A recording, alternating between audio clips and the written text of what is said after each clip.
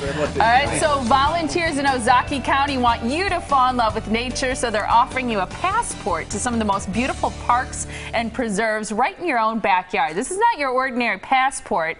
This is your chance to unleash your inner explorer and discover the seven natural treasure sites so close to home. That's right. Here to talk about the treasures of Oz are Erin Ortiz and Mike Hoffer with the Ozaukee Washington Land Trust. And uh, we are so excited to have you guys back. Thanks for being here. Thanks, we're excited too. Yeah, this is pretty exciting. So talk a little bit about where some of the, the sites for the, the Treasures of Oz are this year. Yeah, absolutely. So you, you said it exactly to the point that all of these sites are literally just in the backyard. Even Mm-hmm. from you know downtown Milwaukee, it's just a short drive.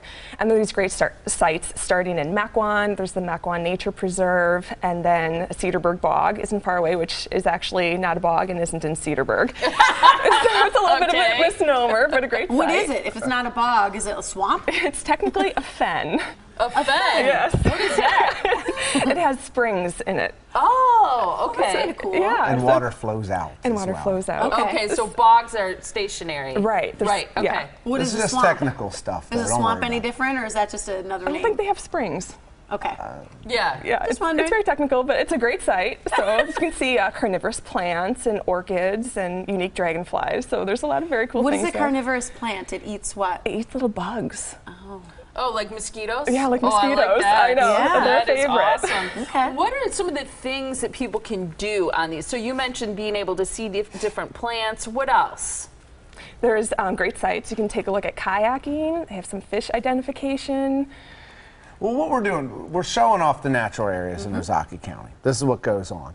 And so you'll visit nature preserves, parks, restoration sites, waterfowl production area, that sort of thing. Oh, cool. And so you, you go to the site, and there's going to be somebody there to chat with you. So if it's a nature preserve, you'll have a naturalist there to just tell you all about it. If it's a restoration site, it'd be a natural resource professional.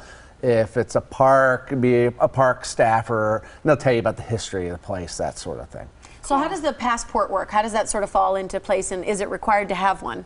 It's not, but there's definitely a benefit. So everyone can get a passport. It's on our website, treasuresofoz.org.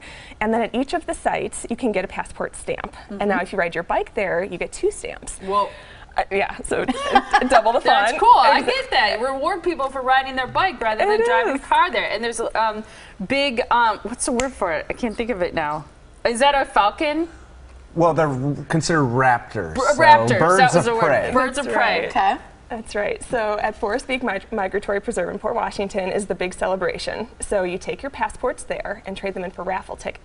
And then we have over 100 items between a silent auction and raffles, so people can get anything from free gift certificates for local restaurants, area venues, um, a pass for your bike tune-up. I mean, lots of great things, but it's all free. 'cause the purpose of the event is to be able to get people out, see these great restoration areas, see fabulous places to do future staycations this summer. Mm-hmm. But it's it's economical, it's close, and we want just to be able to celebrate these great resources. Mm-hmm.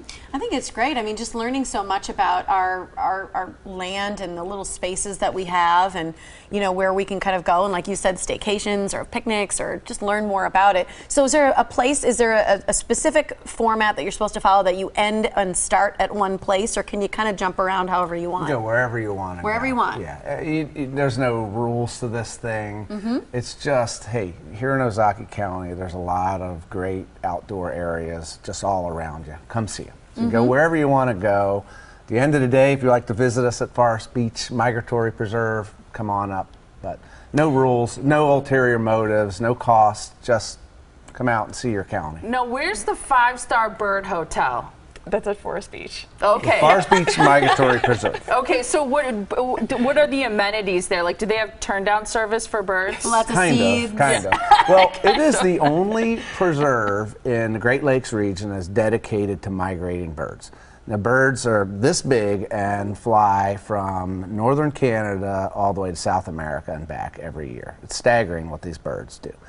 And what we've created at this preserve are many microhabitats. So hmm. these birds are flying by.